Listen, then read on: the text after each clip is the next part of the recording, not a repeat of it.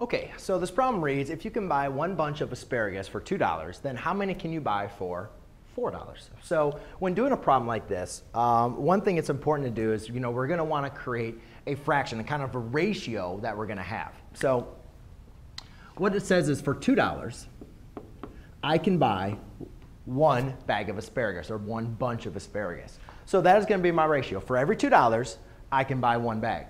And then what we're gonna do is now we're gonna create a proportion.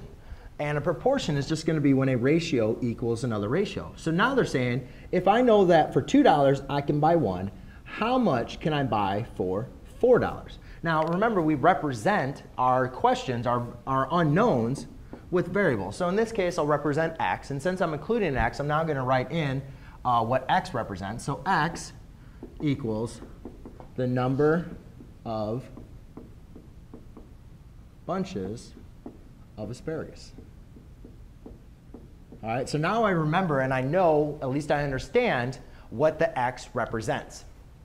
So now what I can do from here is I could either solve for x by using inverse operations, or a lot of times that we use in proportions is we like to use cross multiplication. So by applying cross multiplication, I am going to cross multiply across my equal sign, and I'll get